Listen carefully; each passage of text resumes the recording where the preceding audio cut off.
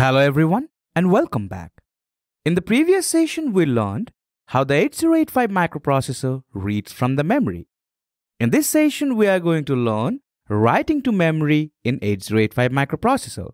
So without any further ado, let's get to learning. Coming to the topic that we are going to cover in this session, as announced earlier, in this session we will learn writing to the memory, that is, how the 8085 microprocessor is going to write at a particular location within the memory. Now I hope you remember that in the previous session itself, we completed the entire organization which will facilitate data transfer. There we also learned that we will need these control signals and the memory signals in order to complete the organization. Additionally, we established the connections between them forming this combinational circuit. Now we are going to use the same structure today and in order to illustrate how the microprocessor is going to write to the memory, this time we will have some data within the accumulator of the microprocessor and we will try and write that data in the memory location F820. And for that, the memory address register, as you can notice, it's already holding the data F820. Furthermore, the higher order byte and the lower order byte of the address have already been sent via the address bus. Remember, at this point of time, ALE is active. And this is also necessary because ALE being active indicates that this particular channel is working as the lower order address bus, not the data bus. Now in the previous session, we learnt about memory read. In this session, since we are going to write to the memory, we will need the specific input sequence for these control signals so that the memory write can happen. Now we already have seen the sequence. All we have to do is remember that.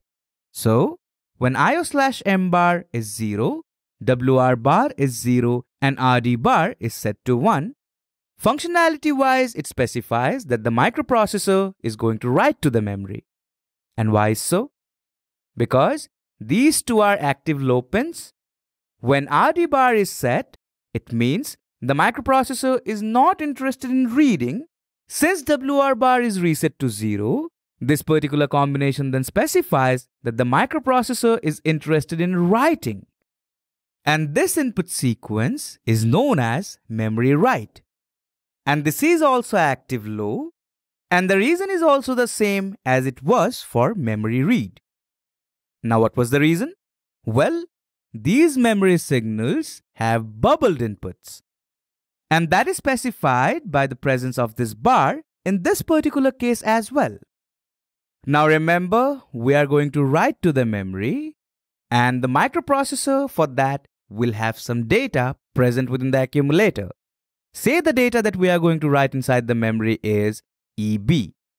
Now do remember, we are using the hexadecimal notation for the ease of human readability. In reality, it will be stored in binary. But worry not. Since within the memory we have got 8 different cells, we will store the data by the end of the entire operation in binary. Now let's begin the process. Remember, the memory address register is already prompting F820, that is the location with which the 8085 microprocessor is going to communicate. To be precise, this is the location where EB will be stored. And already, the higher order byte as well as the lower order byte of the address have been sent to the address decoder. And at this particular time, ALE is set to 1, indicating this channel is carrying the lower order address byte. So clearly, so far the address decoder has decoded the address. Now the memory needs to know what the microprocessor intends to perform. And for that, we will need this particular input sequence. Notice, we will be sending 0 through IO slash M bar, indicating that the microprocessor is communicating with the memory. WR bar will be reset to 0, indicating the microprocessor is interested in writing. And at the same time, RD bar will be set to 1, which will specify that the microprocessor can't read now, it will be mainly writing. Now, since the address decoder already has decoded the address, so it's about time we can free our data channel. And meanwhile, the latch will be responsible for providing the lower order byte of the address to the address decoder. Because the address decoder will need the entire address till the entire operation has been completed. And that's where the latch comes to rescue.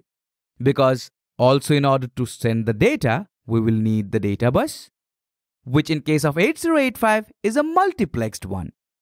Anyway, in order to transfer the data, we have to reset the ALE pin, which will indicate that the data channel is now free for data transfer. Now once this is done, then we can send the control signals. Now at first, we are communicating with the memory, so IO slash M bar is going to be 0. And since we are interested in writing, the WR bar signal will also be 0. At the same time, RD bar will be set to 1. Let's now observe how this combinational circuit is going to react to this input sequence. So, WR bar is 0, IO slash M bar is also 0, and RD bar is 1. Now notice the output of this OR gate, 0 and 1. So the output is going to be 1. On the other hand, through this OR gate, we are sending zeros. So clearly, the output is going to be 0. Now notice, since this line is carrying 0 and it is a bubbled input, it will be active. On the other hand, in case of RD bar, the input which is coming is 1, so through bubble, it will be inactive. Now the memory knows that the microprocessor is interested in writing, not in reading. And this combination is known as memory write, which is activated through these control signals. So once the memory knows that what the microprocessor intends to do, Thereafter, the data can be transferred. Now we are going to send EB via the data bus that is AD0 to AD7 and then it will be placed onto the data channel of the memory that is D7 to D0 and from there finally it will be placed within the memory location F820. Now here it is hexadecimal but as I told you earlier within the memory location it will be stored as binary. So what will be the 8 bits which will be stored in this particular location? Well, notice EB. E is 14, that is 1110, and B is 11, that is 1011. So within the memory location F820, after the writing operation, the bits 1110, that is E, thereafter 1011, which specifies B, will be stored. Now this entire process is known as the memory write sequence. Let me note down all the things one after the another. So at first when ALE is 1, the microprocessor will select the memory location. And the memory location is going to be provided by the memory address register.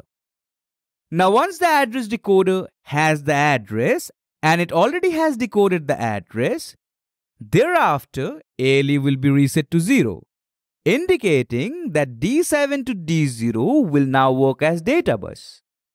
Now after that, memory write will be reset to 0. That is, through these input sequence, WR bar will be activated and at the same time RD bar will be inactivated, which basically means the memory write sequence is now active. And once this is done, Thereafter, the data is transferred from the 8085 microprocessor, to be precise, the accumulator of the microprocessor, to the memory. So this is the memory write sequence which the microprocessor needs to follow in order to write to the memory. So in this session, we cover the topic writing to the memory. Alright people, that will be all for this session. From the next session onwards, we are going to learn about basic interfacing components of 8085 microprocessor. So I hope to see you in the next ones. Thank you all for watching.